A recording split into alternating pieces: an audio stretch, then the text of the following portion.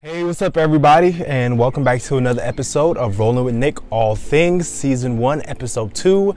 Just a quick. I don't even know. Um, I guess what I'm trying to say is I don't like how dark this I'm looking right now with the sunlight and everything. I tried different angles and stuff. It wasn't working, but I do want to get this video out for y'all. So, welcome back to another episode, season one, episode two, once again, of all things. Hope you all enjoyed the last episode of Campus Tours, University of West Georgia. So, if you don't know me, I am Nicholas Ramsay, host of Rolling with Nick Campus Tours and all this stuff on this channel.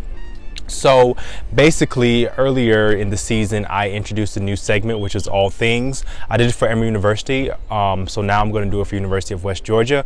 Whereas basically, when I go to a school, I do campus tours, and then after campus tours, what I'm going to do is just pretty much introduce the school, the requirements, pretty much like a lot of stuff that you want to know if you're trying to apply to the school. So I'm pretty sure like that's the audience that I'm tailoring to, the people who are very interested in school or the parents and all that good stuff. So we are not going to waste any time, y'all, and let's get to rolling.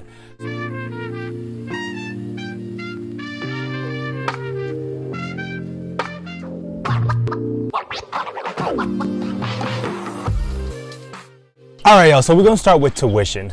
As you can see on this chart, according to a 2023 report, the undergraduate tuition and fees for in-state students was $5,941, and for out-of-state students, it was $16,996. And for graduate tuition, it was 5,908, and for, for in-state and then for out-of-state, it was 18,400. Now, this is not including housing, I believe. I'm going to actually go to show you the University of West Georgia, their website, and show you what their fees are, including housing and all that good stuff. But according to this report from the collegetuitioncompare.com, the 2024 estimate undergraduate tuition fees for the University of West Georgia is 5,413 for Georgia residents and $16,435 for out of student student out of state students, which is a 3.3 decrease compared to 2023's rate. So there goes the big thing. Tuition, I know that's a big factor for a lot of people. Ooh, that breeze feels so good. But I do want you to know that there are scholarships available, especially being an in-state student and you have, I believe, when I graduated, it was a three point, when I graduated high school, in order to obtain the Hope Scholarship, you had to have graduated with a 3.0 GPA from high school. And let's say you go to the University of West Georgia for freshman year and you did not have a 3.0 GPA, it's okay because you can build yourself up to that 3.0 GPA and qualify for Hope. So it's not like if you go to college without, starting without Hope, you can't obtain it for in-state residents. And also there are you have the Pell Grant, and then you also have a great website which I used when I was in college, Scholly, S-C-H-O-L-L-Y, and they have so many different scholarships. They have scholarships for HBCUs, they have scholarships for minorities, so many different opportunities. I'm gonna put that right here, Scholly, that is S-C-H-O-L-L-Y. I'm trying to give you all this skills that I learned along the way. I also was a resident assistant back in college, so I really made the most of my college experience while paying as little as I could. Being a resident assistant truly helped that out, but I also loved being a resident assistant. I didn't just do it for the free um, housing because I truly did love it. I love my residents. I love the events that I was putting on. So I'm trying to give y'all all the juice, all the sauce to make college as stress free on financial wise as possible. And then you have CBCF, which is the Congressional Black Caucus Foundation. They helped me, I believe, three years with scholarships. So I'm very grateful for them. And then my, I have a parent who worked on the airline, so I did receive an airline scholarship for about two or three years as well. So I really tried to maximize, you know, my earnings so that I was getting a refund check, which I indeed was. So, and then also the University of West Georgia has scholarships specifics to their college, and that's that website right here. And uh, yeah, so y'all y'all do have the opportunity. Um, start applying now, especially if you're a junior in college. Start applying to scholarships. Like, it's not unattainable. Of course, it's gonna take some time, but it's gonna pay off in the end, hopefully.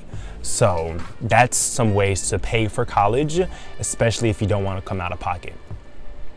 All right, so moving on from tuition, we have admission requirements.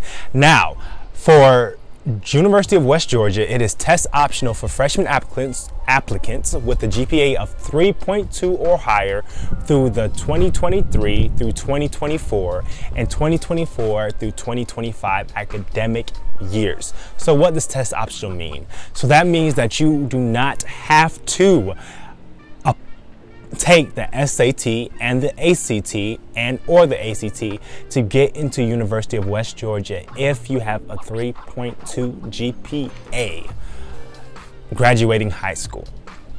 So that's a big deal. I took the SAT and ACT, but I feel like a lot of these standards are changing when it comes to, you know, um, getting admitted into college, which is great. So, yeah, that's that. And if you don't have the 3.2 GPA, then the list right here is, you know, of what you would need to test in order to be considered for admission into the University of West Georgia. So what do you need financial wise? You're going to need a $40 non-refundable application fee. And if you're mailing a paper application, do not mail cash, please. You're going to need your official high school transcript sent directly from the high school to the Office of Admissions. So no, you cannot get your transcripts from your school and send them off. They're saying they want it directly from the high school. And if you don't have, you know, the 3.2 GPA, you're gonna need your official SAT and ACT scores. And if you do not want to pay the $40 application fee, I would check with your counselor to see if you are eligible for a fee waiver. Let me tell you how helpful that was for me. I have never paid for a college application fee ever. I got fee waivers. I got fee waivers. I got fee waivers. So I did not have to pay for college. And I'm going to tell y'all right now, you want to make this like choosing a college that you want to go to is very it's a very it's a, it's a transitional season. Like it's very it can be very stressful but i'm trying to make it as easy for y'all in terms of financial wise and ease of going from high school to college. So what I did, I was able to get fee waivers from my counselor to apply. And also what I did, I used the Common App. So the Common App is great because it allows you to apply to multiple schools using one application because I know it can be a lot applying to different schools, paying these different fees and having to fill out different essays. But with the Common App, you are able to apply to multiple schools using one college application. Now, not all colleges are on there, but the ones I wanted to go to were very much on there. So that was very much a blessing. All right, y'all. And now this is just the uh, admission deadline dates.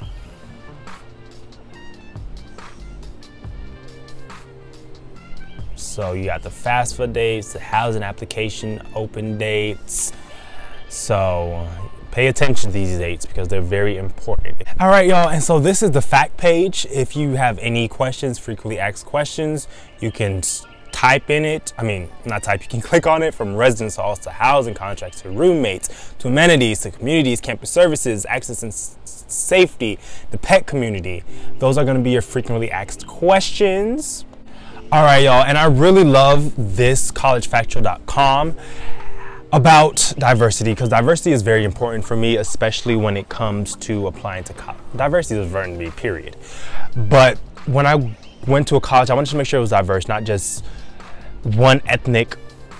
Like I wanted a diversity. I wanted to explore. I wanted to meet friends from different nations and of different genders, and I just wanted to have a diverse experience. So this is the website that you can go on to see what the University of West Georgia's, you know, male to female ratio is, what's the ethnic, uh, you know, demographics, diversity, all that good stuff, how many students approximately go there.